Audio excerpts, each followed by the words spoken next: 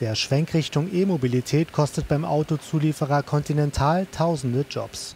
In den kommenden zehn Jahren sollen in Deutschland rund 7000 von derzeit mehr als 62.000 Stellen gestrichen werden. Bis 2023 sollen bereits 5000 Jobs wegfallen. Das teilte Continental nach einer zweitägigen Aufsichtsratssitzung mit.